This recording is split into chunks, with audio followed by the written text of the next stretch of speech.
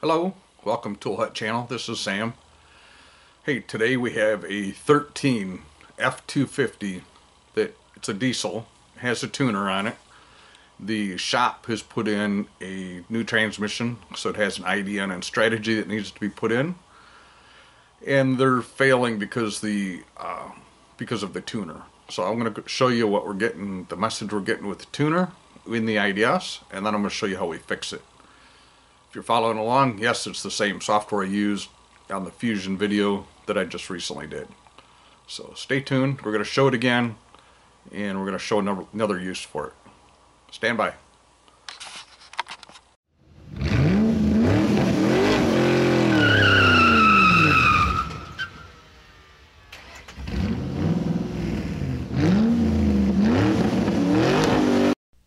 The hardware we're going to use for this is the Ford VCM2, which is available on the toolhutusa.com website.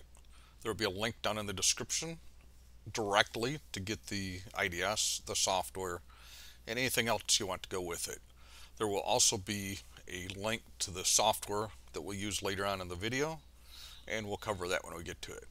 Okay, so first thing we're going to do is we're going to turn on our IDS and we're going to connect it to this vehicle. The key is on on the vehicle and I get a unique PCM identifier is unrecognized.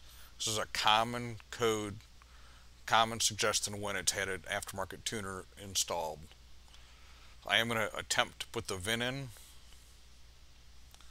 So once I put the, the VIN in the vehicle here, hit the tick mark, and it tells me it wasn't found in any sessions, wants to know if I want to retry. So in other words, if I haven't worked on this truck before, I can't work on it. Now there is a way around this. Uh, it takes a few minutes. I'm just going to get the Forscan software back out. It doesn't have sync. It might have sync. I don't really care. It's not important for what we got to do. We do have some codes in it. It's interesting that the Forscan knows exactly what it is and the IDS did not. Again, there's a way around it in the IDS. It just takes time.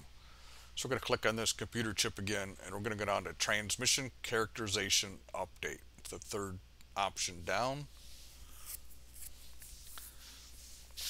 What they've done is replace the transmission or the transmission solenoid pack and there's what they call a characterization and strategy that needs to be put in. Uh, the engine is running so I'm going to turn the key off. Just start it back up or just turn the key on here so I'm going to update the by using the top number. Just hit OK I am not connected to the internet. Silly me so let's try it again here. Type in the number of the new solenoid strategy. We are hooked to the internet now